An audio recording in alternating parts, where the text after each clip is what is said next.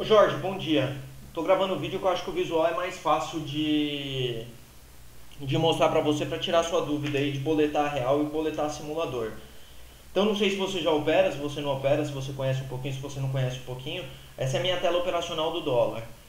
Superdom do dólar mini, Superdom do dólar cheio. Aqui eu tenho um gráfico 3Rs, que é só para me dar um direcionamento para onde o mercado está andando. Então ele me mostra em linhas retas, no lugar de onde o preço fica se chocando.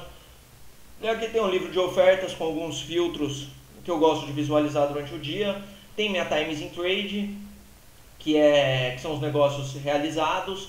Eu tenho uma grade de cotação aqui, com alguns papéis aqui que eu, que eu acompanho um pouco mais de perto.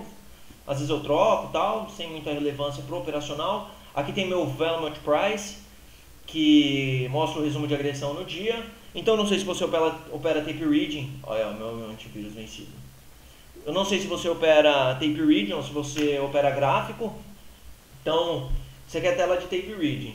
A sua pergunta é, assim que a Nelogica ela libera o simulador para você, você não precisa fazer nada em relação à plataforma. Se ela estiver instalada na sua máquina ou não, você vai abrir ela e aqui, ó, no Superdom você tem a opção de trocar, tá vendo? Você troca sua conta de roteamento. Então, ó, vermelhinho, conta teste, tá vendo? Então vou mudar a minha para conta teste. Pronto, posso boletar o teste. Quero boletar o real? Ó, mudo, real. Quero boletar teste? Mudo. Então, dá uma fuçada bastante aí na Profit ela tem um monte de função, tem um monte de coisa. Para aparecer essa aba aqui, ó, aqui ó, invisibilidade. Você clica com o botão direito ali em cima do Superdom, tem propriedade do livro, tem todas essas opções aqui para você fuçar aí dentro do visibilidade. Aí você coloca aqui, ó, conta, tá vendo? Ele tira a conta daqui. Então eu deixo a conta sempre visível, porque durante o dia a gente, eu pelo menos troco muito aqui horários que eu opero real, horários que eu pego que eu opero o simulador. Beleza? Espero que eu tenha ajudado. Se tiver qualquer dúvida aí que eu possa explicar, a gente troca ideia no Skype, sei lá, enfim.